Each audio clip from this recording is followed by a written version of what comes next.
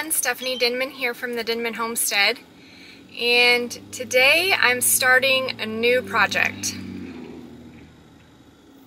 Yes. Um, I had a thought that occurred to me and it was like a memory that I was like, I need to remember this. But then I forgot and then it came back to me recently.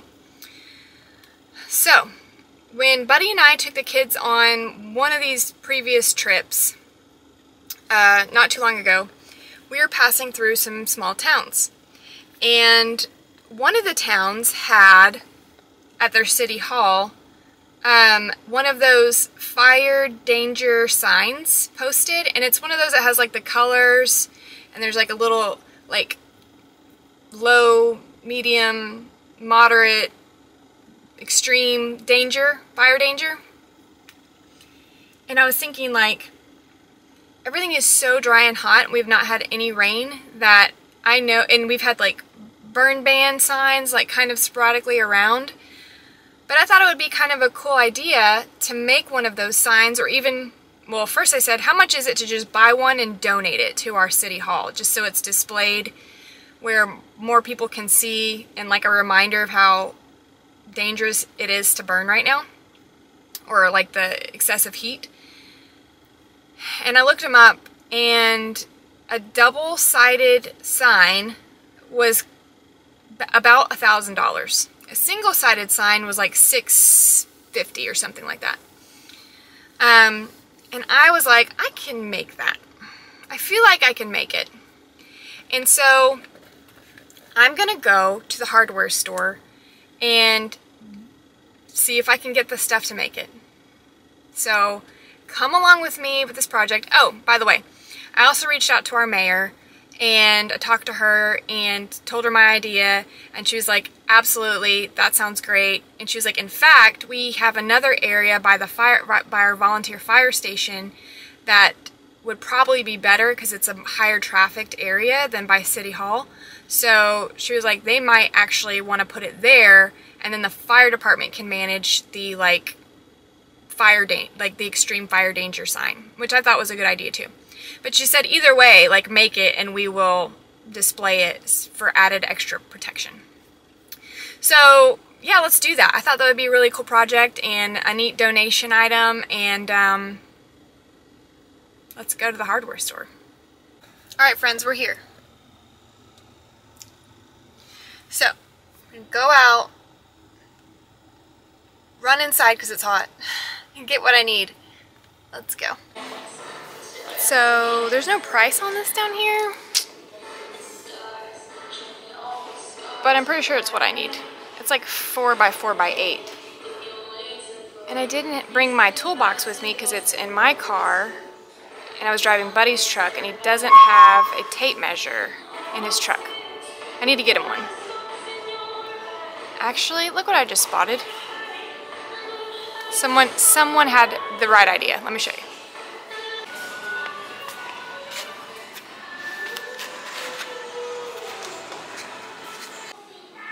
Okay, so now I'm to need to get some treated plywood.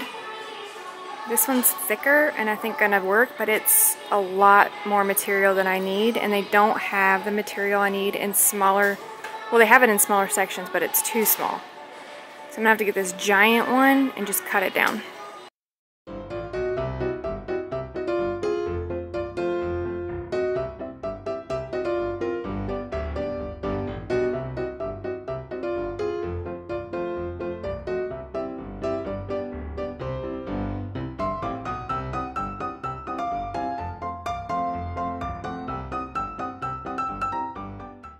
Need help.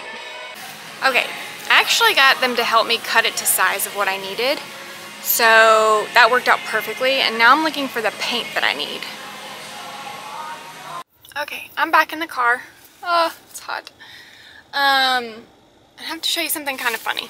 So the paint person, the person at the paint, the counter, I told her I needed like all these colors for, well I didn't tell her for what, but it was like bright colors. And she was super when I got the little paint cans back, um, let me just show you what she did. Isn't that cute? She like drew little things on them. I thought it was adorable. But then I brought her another paint can and I was like, okay, I need this one. Um, I need a gallon of this because it's going to be the base coat for the entire thing. This is what she gave me. Now you tell me.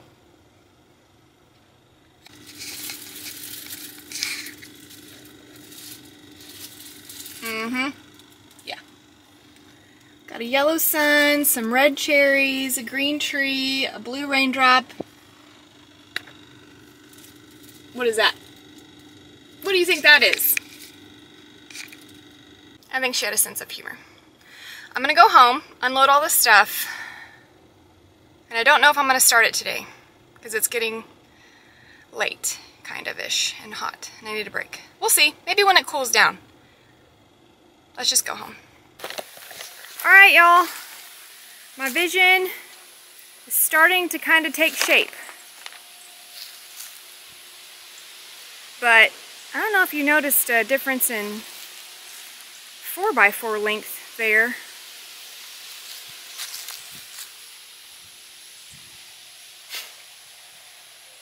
Listen,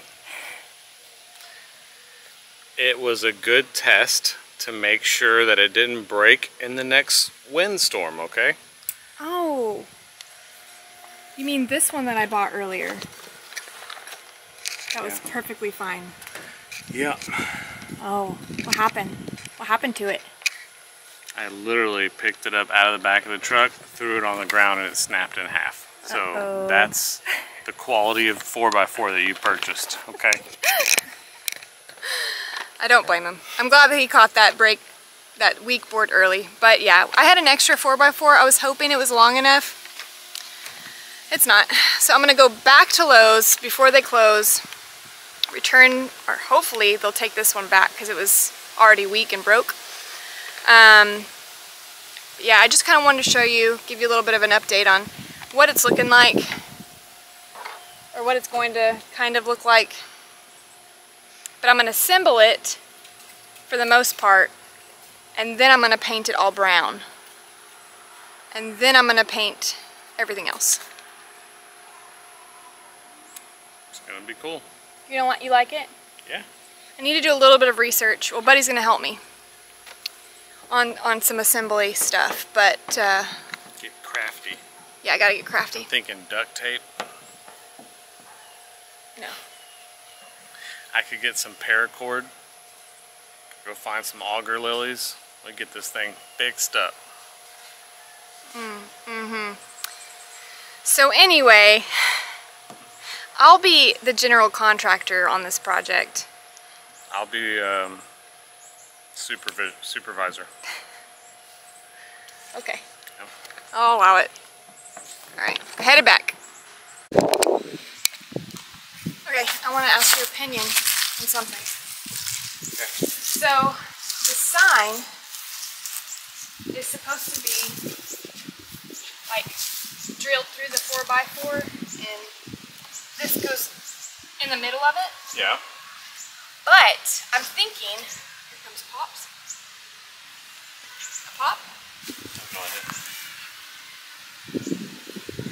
So the one-sided sign design actually takes this post.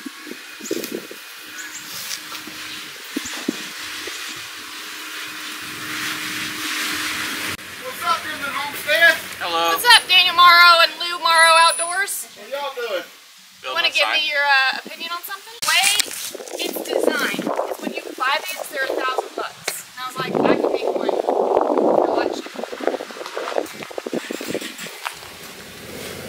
But You'll put some hinges on that bottom part? no, Oh. Uh, you're supposed to attach it this way through the 4x4, but I was thinking I could grab a groove and slide it in so it has more of a, uh, like a, uh, more, more security. Like I could grab her this and, and slide it in down, and then screw it in from, Why though? what do we have in Lee? Why don't you some L brackets? Some heavy duty L brackets.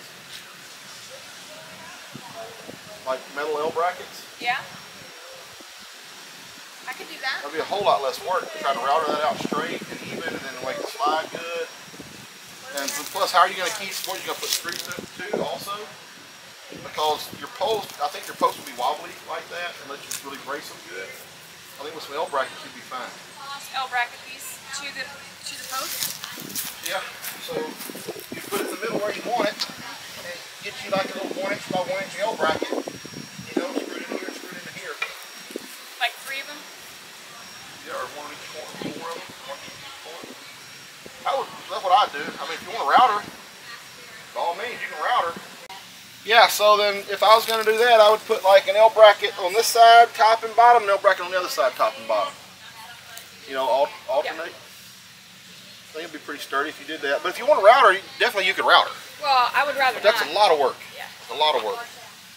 I'm gonna donate a uh, fire hazard Oh, sign, like moderate, Do they have to extreme, low fire danger. oh, You know, have you seen bad. those with the little wheel, the color wheel, where they can? You've never seen those? Nope, that's cute. You're gonna donate it.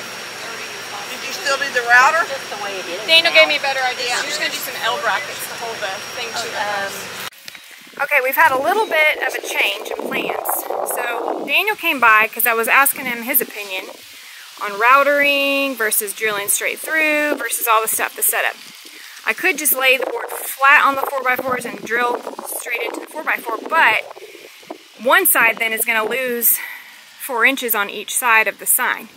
So I want both sides of the sign to be equally visible.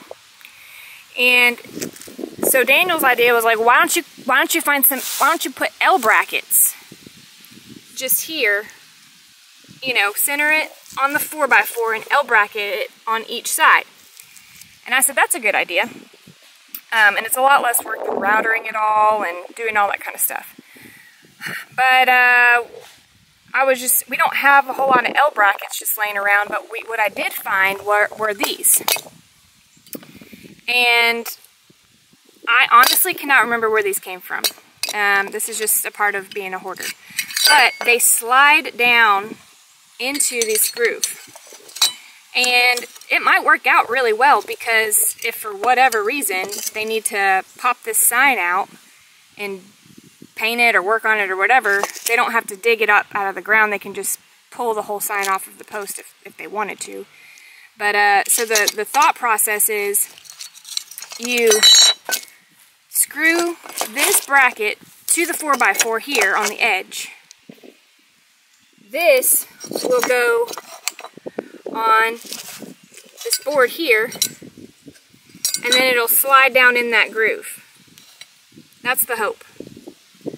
So let's see if we can get that done.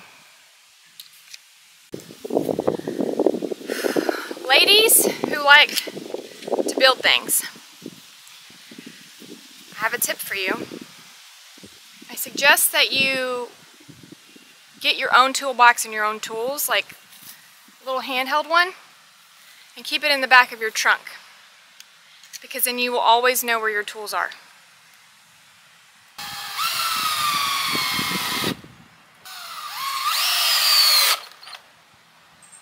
think for now I'm just going to do two screws in each and assemble it. And if it works, I'll uh, secure it better.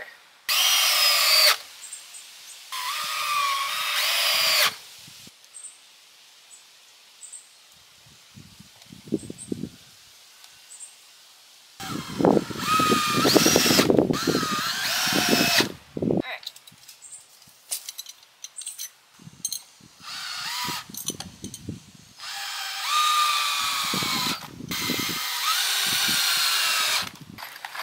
Let's find some smaller screws. Smaller screws. I'm awesome. Okay.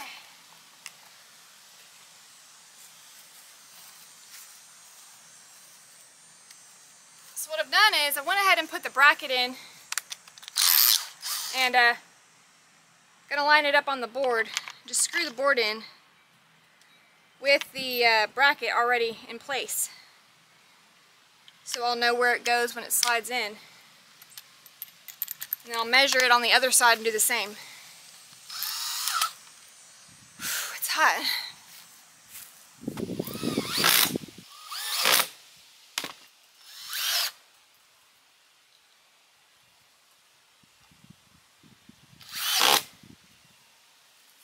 It's kind of looking like a sign, guys.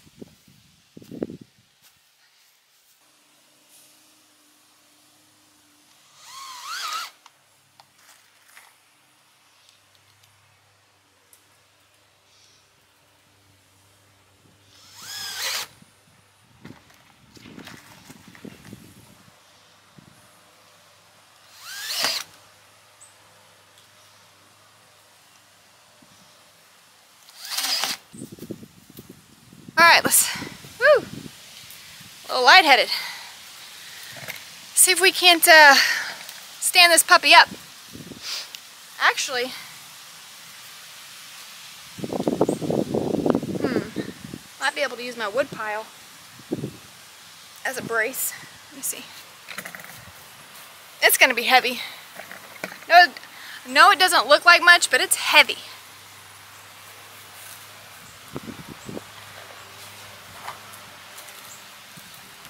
Oh my god. Alright, I'm gonna go get Buddy. I'm not trying to throw my back out.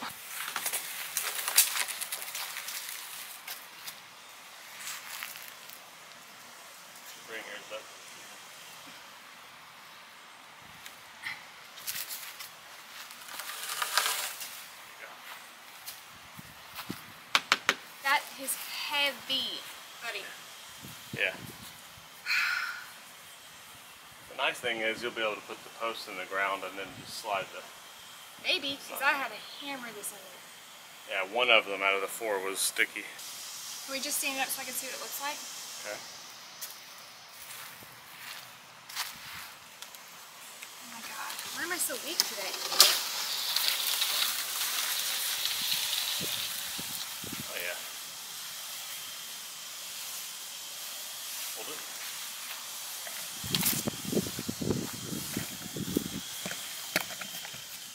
So just keep in mind that like two feet of this is going to be in the ground. Yeah. And then this will be on a chain hanging underneath. We could just do Okay, so I'm going to go ahead and paint this and I'm going to paint the rider separately. And then I'm to have to go to the store and get some more hardware because we've changed up, again, uh, the design where we're going to hang the rider from some things. Uh, so, probably be a good idea to go ahead and paint it, let it dry while I'm gone, and then come back and assemble some stuff. Let's do that. Okay, I took a little bit of a break because I had to run to the store and get some stuff. I'm back, and it's around 3 o'clock in the afternoon and 103 degrees outside, so I'm in the shade and Buddy is setting me up with a little fan outside. But I'm going to try to get this painted and then maybe go inside and cool off for a little bit and then come back out in the afternoon and work on it a little bit more.